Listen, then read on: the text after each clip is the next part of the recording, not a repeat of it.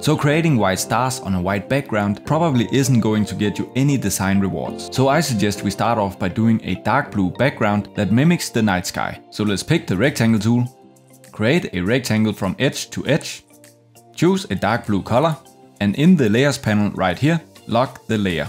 Now create a new layer and on this layer we're going to create our white stars with our star brush. So now to create this star brush, let's pick the ellipse tool. And as a fill color, select white. And if you have a stroke color selected, disable the stroke color. So now with our white fill color, hold down the shift key to make a circle and create a tiny circle Something like this. The exact size isn't important as we are going to adjust this in our brush. So with this tiny circle selected, let's go to our brush panel, go to this button right here that says new brush and click it one time.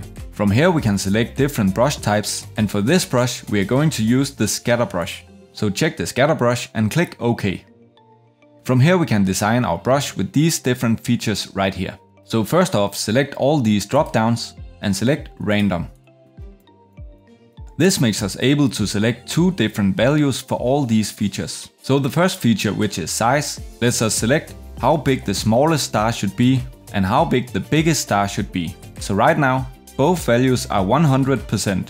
This means that both the smallest stars and the biggest stars in this brush are going to be this exact size. And the spacing defines how much horizontal space we want between our stars. The scatter feature defines how much vertical spacing we want between our stars and the rotation feature is how much rotation we want on our stars. So I will demonstrate these features more clearly in just a moment. But as a starting point for this brush, simply drag all these sliders to the left. And because our brush is a circle, the rotation doesn't do anything for this brush. If it has some kind of shape, it will rotate the shape. And drag these three sliders to the right and because we don't want any star bigger than this, simply keep the biggest size to 100%. Then click OK. Now we have our brush right here, so let's go to the selection tool and delete this sample object right here. Then select the brush tool, select the brush we just made and paint with the brush all the way across the canvas.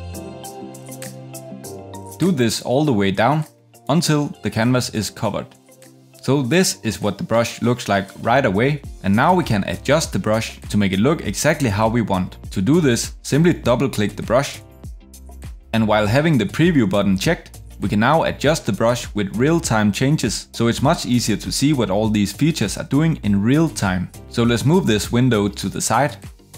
And for this brush, I think the biggest stars are too big, therefore we can go to the size slider, choose the right slider over here and simply pull the slider for the biggest stars down a tiny bit. And as you can see right here, the stars are shrinking right away. The same thing can be done with spacing, scatter and rotation. So now let's try to pull down the spacing way too much, just to see what it's doing. So choose this slider right here and pull it all the way down. And as we can see right here, that contracts the stars horizontally, so they are getting really close together. This is easy to see if we pull the slider up step by step.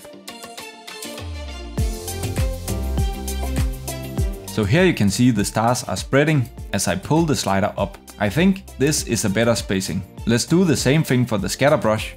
Pull it all the way down and this leaves us with the exact brush strokes we made without any scatter from the path at all. So let's try to pull the scatter slider up just a tiny bit. We can see that this tiny scattering makes the stars scatter just a tiny bit from the path and ideally we want this to be scattered a lot. So let's just pull this all the way up. You might want different settings than this, depending on how close you put the strokes together and also how big you made the first star. When you're done, simply click OK and if you want the new settings to apply to the strokes you already made, simply click apply to strokes. And here you have an awesome star brush.